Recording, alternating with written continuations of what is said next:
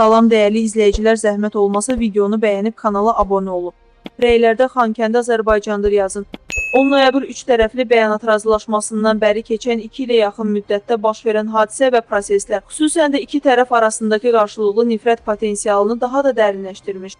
Ermənistan-Azərbaycan sərhədindəki son qanlı qarşıdurmadan sonra aydın olur ki, bu gedişlə Rusiya sülhməramlı hərbi kontingenti hüquqi tarixi Azərbaycan ərazilərimizdən çıxarılmamış Xankəndi, Xocalı və sairə məntəqələrimizin birbaşa yurisdiksiyamıza keçirilməsi də mümkün olmayacaq. Bəs görəsən siyasi analitiklər bu haqda nə düşünür?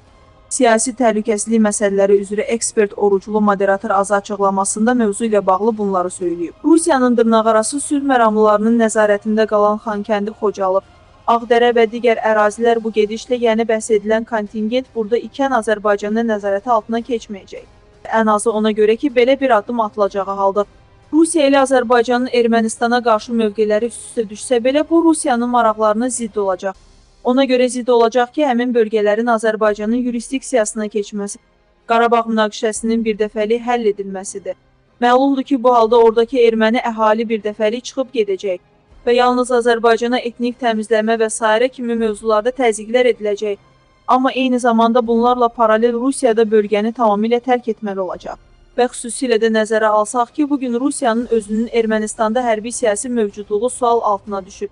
Bu baxımdan əlbəttə ki, Kreml Qarabağı nəinki tərk etmək haqqında düşünəcək, buralarda daha da möhkəmlənməyə çalışacaq. Azərbaycanda və dünyada baş verənlərdən xəbərdar olmaq istəyirsinizsə kanalımıza abunə olub videonu bəyənməyi unutmayın.